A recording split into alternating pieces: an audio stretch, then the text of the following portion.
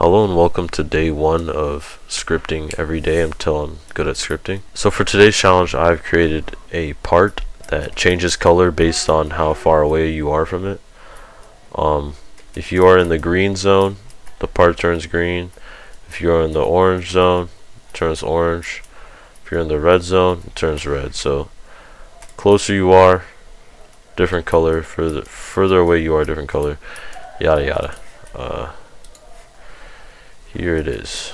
So as I touch the green area, I'm now the part is now green. Touch the yellowish orange area, part's now yellowish orange. Touch the red, same thing. Now if I go backwards, works the same way. I'm now now it does get a little buggy because uh sometimes sometimes it does this. Wait. Okay, you see that? There. Okay, sometimes it does this. So like I'm in the orange, but it's green. And and I, I I've been trying to fix it, but uh you know my feeble my feeble beginner scripting mind cannot think of a way to um do it better. So yeah, code's a little buggy.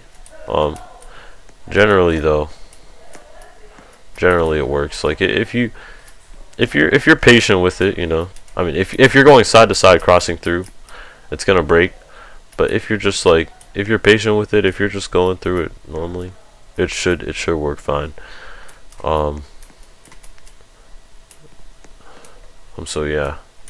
Um. This is unnecessarily almost a hundred lines of code. Um. Once again, my my beginner uh, feeble scripting mind uh, could not think of a better way to complete this task.